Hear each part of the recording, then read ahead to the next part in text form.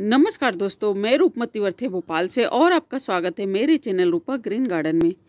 उम्मीद करती हूँ कि आप लोग भी स्वस्थ होंगे और अच्छे होंगे। जो लोग मेरा वीडियो पहली बार देख रहे हैं, वो मेरे चैनल को सब्सक्राइब कर लें और साथ ही साथ बेल आइकन को भी दबा दें ताकि मेरी आने वाली हर वीडियो आप लोग देख सको। तो दोस्तों, सितंबर का महीना है और दो तीन दिन से बारिश भी हो रही है तो क्यों ना हम इस मौसम का फ़ायदा उठा लें और हम कटिंग लगा लें और इस मौसम में भी बहुत ही अच्छे से कटिंग चलेगी।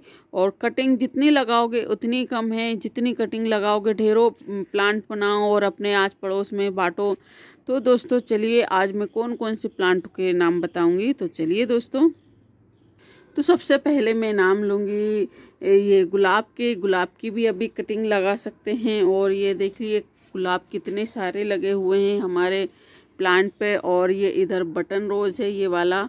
ये देखिए, इसमें भी फूल खिलने लगे हैं और कलियाँ भी बनने लगी है, ये देखिए। तो आप इस समय गुलाब की कटिंग ले सकते हैं और वो भी बहुत ही अच्छे से चलेगी और ठंड तक के तो काफ़ी अच्छे फूल दे सकती है। ये देखिए, बारिश अभी पूरे प्लांट ऊपर बारिश की बूंदें हैं, समझे? और दोस्तों, अभी आप बालसम की भी कटिंग लगा सकते हैं क्योंकि बीज से लगाने का समय निकल चुका है। तो आप कटिंग लगा सकते हैं, बालसम की अभी फूल दे सकते हैं ये। और दोस्तों, फिर मैं ये ग्लोडिया की बात करूँगी, इसकी भी आप कटिंग लगा सकते हैं अभी। तो अच्छे से अच्छे फूल आपको ठंड में मिल जाएँगे। और फिर मैं बात करूँगी स्लोशिया स्लोशिया की भी आप कटिंग लगा सकते हैं, ये देखिए। ये कितने बड़े बड़े प्लांट हो गए हैं और फूल भी स्टार्ट होने वाले हैं। तो अभी फूल स्टार्ट ना हो कुछ कुछ में नहीं है तो अभी इसकी कटिंग लगा सकते हैं। फिर मैं बात करूँगी गेंदे की। गेंदे की भी कटिंग लगा सकते हैं। मैंने भी लगाई है कटिंग भी लगाई है और ये भी लगाया है। ये देखिए दोस्तों, ये छोटी सी गिलास में मैंने ये कटिंग लगाई है, शायद सक्सेस भी हो गई हो।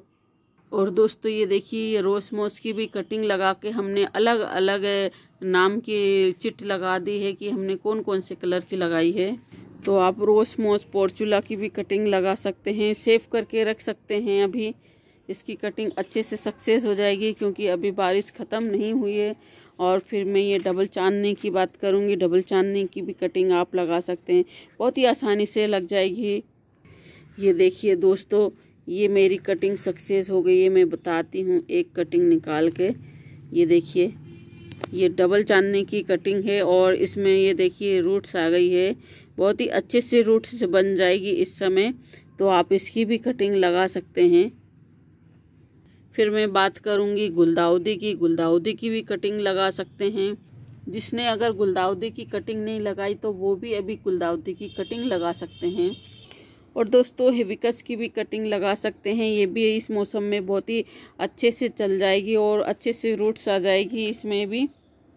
और दोस्तों कोलियस की भी आप कटिंग लगा सकती कोलियस की भी कटिंग लगा के और बहुत ही अच्छे से चल जाएगी। ये देखिए, छोटी सी छोटी कटिंग इसमें सक्सेस हो जाएगी। तो कोलियस की भी आप लगा सकते हैं। और दोस्तों, ये फोर ओ का प्लांट है। फोर ओ की भी कटिंग लगा सकते हैं। इसमें भी ढेरों फूल आते हैं। बहुत ही अच्छा इजी टू ग्रो प्लांट है। इसकी कटिंग लगा सकते हैं। अभी अच्छे से लग जाएगी। और दोस्तों इंडोर प्लांट जितने भी है, उतने सारे इंडोर प्लांट की भी आप कटिंग लगा सकती है। बहुत ही अच्छे से चल जाएँगे। ये देखिए, ये इंडोर प्लांट भी आप लगा सकते हैं। जैसे ये पोलका डॉट है और ये पीलिया प्लांट है, इधर ये रोयो प्लांट है और इधर ये पर्पल हार्ट है। फिर मैं अरेलिया की बात करूँगी, ये सफलेरा है और ये सिंगोनियम है। काफ़ी काफ़ी ये क्रोटोन की भी आप लगा सकती, वो भी इजी लग जाएँगी। फिर मैं ये कनेर की बात करूँगी, इसकी भी कटिंग लग जाती है। और दोस्तों, कड़ी पत्ता की भी आप कटिंग लगा सकते हैं। इसकी भी आप लगाओगे तो अभी अच्छे से रूट्स बन जाएगी इसकी।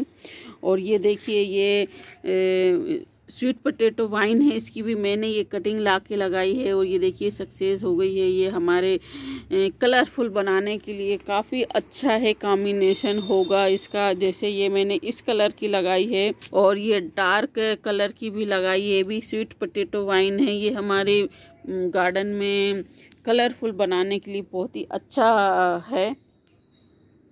और दोस्तों, ये मुसंडा का प्लांट है, इसकी भी आप छोटी सी छोटी कटिंग लगाओगे तो ये लग जाएगी। काफ़ी प्लांट मेरे कटिंग के द्वारा लगे हुए हैं। और फिर मैं बात करूँगी हमारे प्लांट ये एक्जोरा की। एक्जोरा की भी कटिंग देखो, मैंने कितनी लगाई है। ये देखिए दोस्तों, ये कटिंग से ही मैंने ये एक्जोरा लगाया है। उधर दूर रखा हुआ है। ये देखिए, इधर नीचे भी कटिंग लगी हुई है। एक्जोरा की और ये मिनी एक्जोरा की कटिंग लगी हुई है, ये देखिए। और दोस्तों विन का प्लांट है। विन का प्लांट की भी अभी सीट से भी ग्रो कर सकते हैं और इसकी कटिंग भी लगा देंगे। तो कटिंग भी बहुत ही अच्छे से चल जाएगी क्योंकि ठंड में काफ़ी अच्छे से फूल देंगे। तो आप बिनका भी लगा सकते हैं। फिर मैं ड्रेसिना की बात करूँगी। ड्रेसिना की भी आप लगा सकते हैं। ये भी बहुत ही अच्छा प्लांट है। और फिर उस तरफ़ में डेफिन वाक्य रखा, उसकी भी आप कटिंग लगा सकती है तो उसमें भी रूट्स बन जाएगी अच्छे से।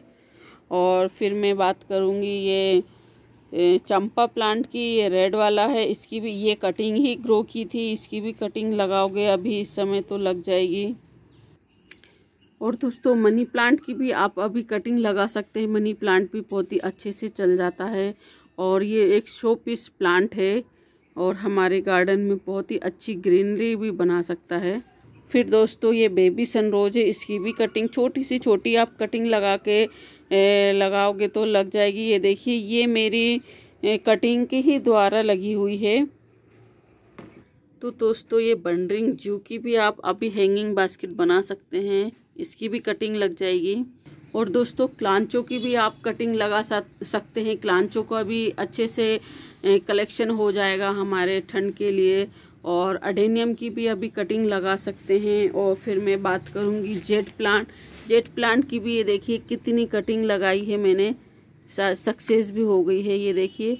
अब हर एक कटिंग को निकाल के बताना फिर कटिंग सक्सेस नहीं हो पाती कभी कभी ख़राब हो जाती है ये। देखिए, इसमें रूट्स आ गई है और रूट्स अंदर ही रह गई है, यहाँ से टूट गया है।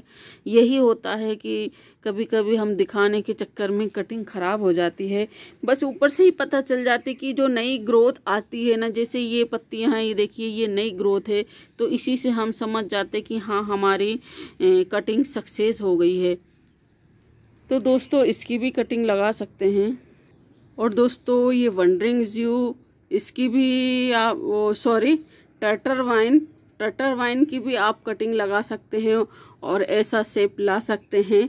बहुत ही सुंदर लग रही और फिर ये ट्रायंगल हार्ट की, इसकी भी छोटी सी छोटी आप कटिंग लगा लोगे सक्सेस हो जाएगी। तो दोस्तों, मैं जल्दी जल्दी बता देती हूँ वीडियो काफ़ी लंबा हो रहा है।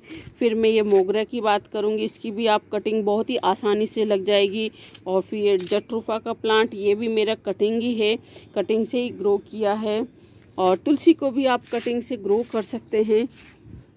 और दोस्तों बोगन बेलिया बोगन बेलिया को भी आप कटिंग से ग्रो कर सकते हैं। इस मौसम में बहुत ही अच्छे से लग जाएगी। कोई सी भी मिट्टी में आप लगाओगे तो बहुत ही आसानी से ये कटिंग लग जाती है। और फिर मैं बात करूँगी रात रानी की। रात रानी की भी कटिंग बहुत ही इजी लग जाती, कैसी भी मिट्टी में लग जाती है।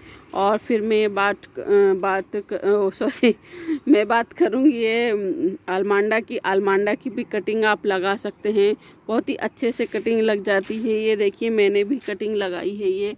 ये मेरी आलमांडा की कटिंग है ये। तो इसकी भी कटिंग आप लगा सकते हैं। रबर प्लांट की भी लगा सकते हैं। और ये एक मेक्सिकन पिटूनिया है, इसकी भी कटिंग लगा सकते हैं। तो ये देखिए, ये मेक्सिकन पिटूनिया की मैंने कटिंग लगाई थी। कितनी कटिंग सक्सेस हो गई देखिए, सभी में जड़ आ गई है।